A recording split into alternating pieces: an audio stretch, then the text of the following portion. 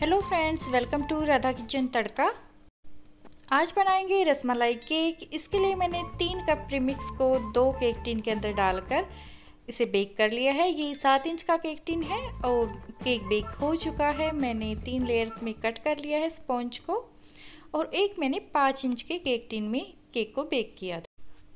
यहाँ मैंने दो कप क्रीम को विप कर लिया है। विपिंग क्रीम को और थोड़ी सी यहाँ मैंने ली है रसमलाई, इसे अच्छे से क्रश कर लिया है और जो रसमलाई में दूध आता है, एक बाउल में उसे डाल लिया है।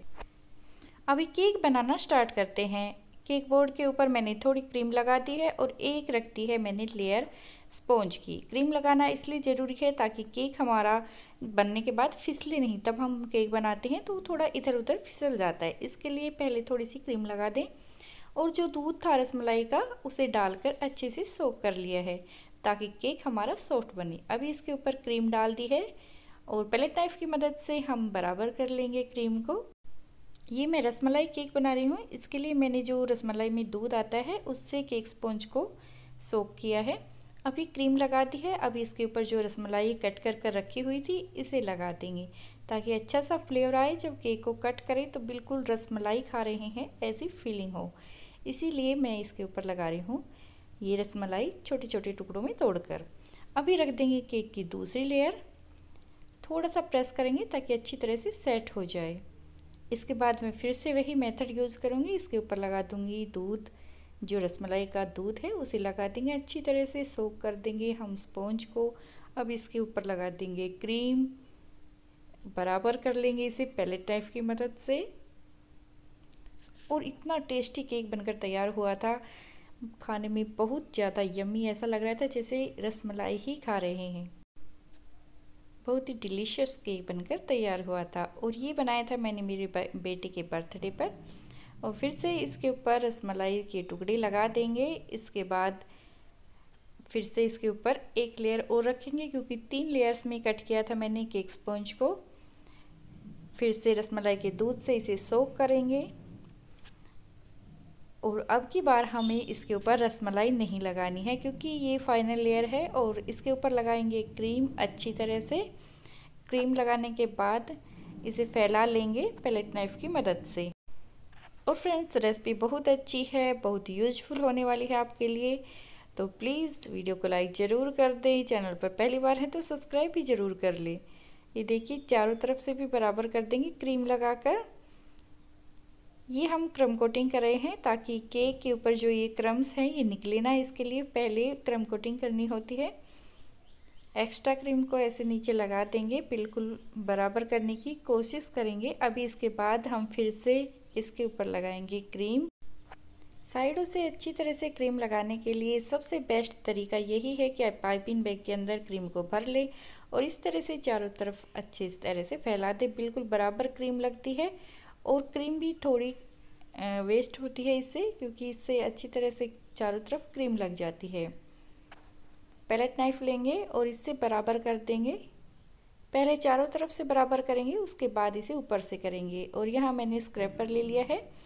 इसे घुमा देंगे चारों तरफ़ तो इससे अच्छा सा डिज़ाइन बनकर तैयार हो जाता है।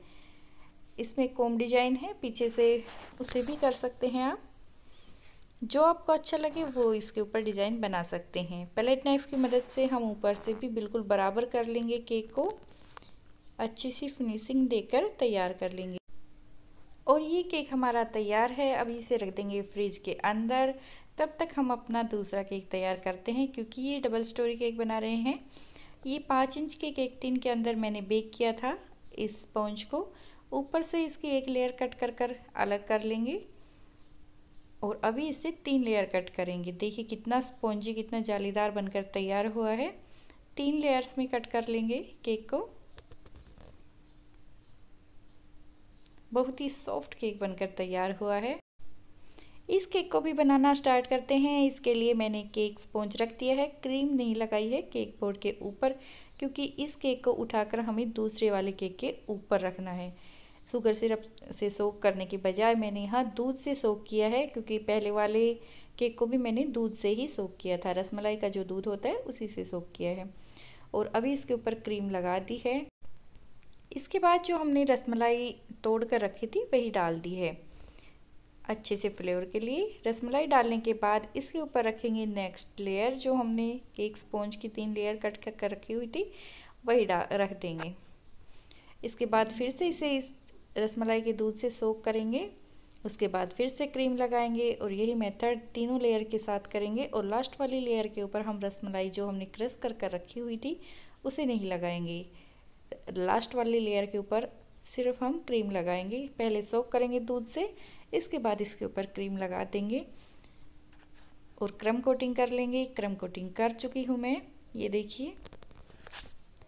अभी उसी केक की तरह हमें इसके ऊपर भी लगानी है क्रीम। अच्छी तरह से चारों तरफ़ क्रीम लगा देंगे। पाइपिंग बैग में डाल ली थी मैंने क्रीम। और काफ़ी अच्छी फिनिशिंग आ जाती है इस तरह से जब आप क्रीम लगाएँगे तो जल्दी भी तैयार हो जाता है केक इसके बाद इसे पैलेट नाइफ की मदद से इसे भी बराबर कर लेंगे, फिनिशिंग दे देंगे। फ्रेंड्स, फिर से याद दिला देती हूँ आपको, अगर आपने अभी तक मेरे चैनल को सब्सक्राइब नहीं किया है तो प्लीज़ सब्सक्राइब कर ले, और अगर आपने वीडियो को लाइक नहीं किया है तो प्लीज़ वीडियो को लाइक ज़रूर कर दें। स्क्रैपर की मदद से हम इसके ऊपर भी डिज़ाइन बना लेंगे, सेम वही डिज़ाइन बनाया है जो मैंने पिछले वाले केक के ऊपर बनाया था।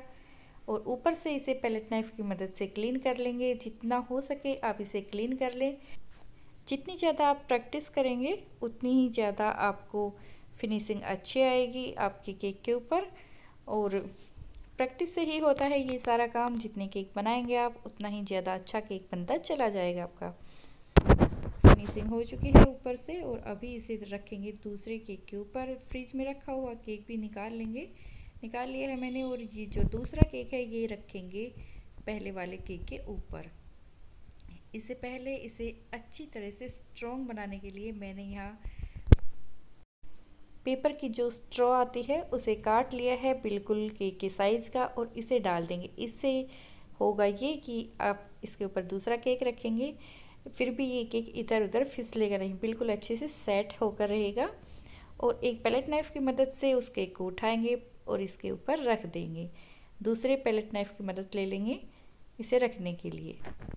केक को मैंने सेट कर दिया है दूसरे केक के ऊपर और ये देखिए कितना प्यारा लग रहा है। और यहाँ मैंने स्टार नोजल का यूज़ किया है। स्टार नोजल को पाइपिंग बैग के अंदर डाला है और इसके अंदर डाल दी है क्रीम जो हमने बना कर रखी थी। और सिर्फ़ आपको डॉट डॉट देने हैं और बॉर्डर बना लेना है। इस तरह से बॉर्डर बनाना बहुत ही आसान है और बहुत ही प्यारा सा डिज़ाइन बनकर तैयार हो जाता है। सिर्फ़ आपको डोट डोट देने हैं और कुछ भी नहीं करना है इसमें। नीचे वाला बॉर्डर बना लिया है, अभी बनाते हैं ऊपर का, बिल्कुल सेम इसी तरह से इसी पैटर्न को यूज़ करते हुए हम बना लेंगे। ऊपर वाला भी बॉर्डर और देखिए कितना प्यारा लग रहा है केक की लुक ही अलग हो जाती है। और यहाँ मैंने जो आइसक्रीम की कोन होती है, वो ली है। इसके अंदर डाल देंगे एक क्रीम और थोड़ी सी इसके बाहर की साइड में भी लगा देंगे। अच्छी तरह से फ्लावर सा बनकर तैयार हो जाता है और इसके ऊपर रख देंगे केक के ऊपर। अब इसे इफ़ेक्ट देंगे, जैसे केक की आइसक्रीम की स्कोन से केक के ऊपर ये रसमलाई फ्लेवर बरस रहा है, बिखर रहा है। कुछ ऐसा सा सेट देंगे इसे। अभी इससे नीचे की तरफ़ हम बनाते हुए नीचे चलेंगे। ये फ्लावर ये देखिए। फ्लावर सारी बनाकर तैयार कर ली है मैंने। अभी इसे बिल्कुल रसमलाई का कलर देने के लिए, फ्लेवर देने के लिए इसके ऊपर मैं डालूँगी पिस्ता। और जो ये रोज़ के पेटल्स होते हैं, इन्हें बारीक कट कर लिया है और बादाम को भी बारीक कट कर लिया है। बस इसे ही डालना है और बहुत ही प्यारा सा केक बनकर तैयार हो जाता है। देखिए, लुक ही अलग हो जाती है जब हम इस तरह से डालते हैं। ये देखिए, इस तरह से डाल देंगे। अभी बिल्कुल लग रहा है रसमलाई फ्लेवर का और कितना प्यारा केक बनकर तैयार हुआ है। या मैंने दो तीन रसमलाई भी रखती है इसके ऊपर ताकि अच्छे से लगे कि हाँ ये रसमलाई केक बनकर तैयार हुआ है। अगर आपको वीडियो पसंद आई हो तो प्लीज़ लाइक ज़रूर कर दें और यहाँ मैंने थोड़ी सी गोल्डन स्प्रे डाल दी है इसके ऊपर। बिल्कुल ऑप्शनल है। वीडियो पसंद आई है तो प्लीज़ लाइक कर दें, चैनल को सब्सक्राइब